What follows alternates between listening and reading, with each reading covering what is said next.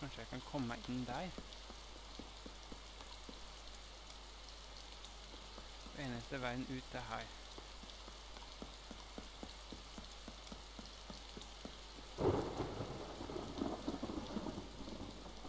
Serien min er at han er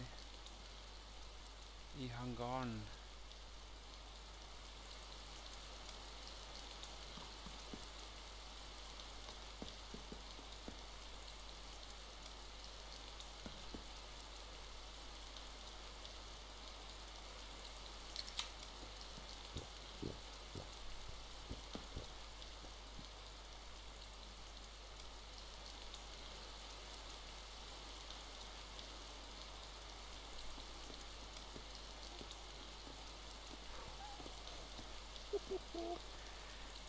Shit, det er to stykker. Fy faderullan. Herregud. Nervesammenbrudd.